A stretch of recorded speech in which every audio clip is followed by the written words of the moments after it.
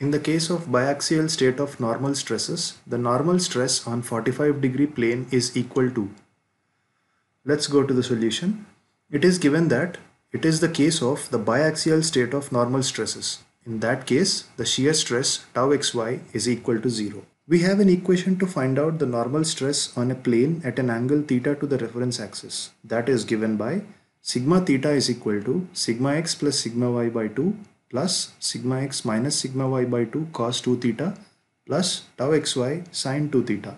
We are given with theta is equal to 45 degrees. So when we substitute theta is equal to 45 degrees into the above equation, we get sigma theta is equal to sigma x plus sigma y by 2 plus sigma x minus sigma y by 2 cos 90 degrees plus tau xy sin 90 degrees.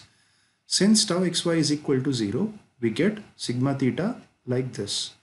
Now the second term is also 0 because cos 90 degrees is equal to 0. Therefore, we are left out with sigma theta is equal to sigma x plus sigma y by 2.